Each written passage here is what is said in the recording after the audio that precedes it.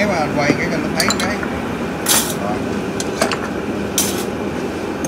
Rồi, anh muốn bắt đầu từ hôm nay trở đi nha. Tất cả những chén gì mình ăn cũng vậy vô là bỏ riêng ra. Mình ăn á, khách buổi sáng cũng vậy luôn.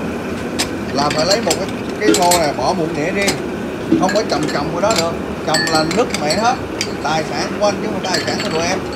Vậy tụi em bể tụi em hè hè thôi. Mà tiền của anh sẽ bị mất rồi anh phát hiện đứa nào làm sai là anh phạt.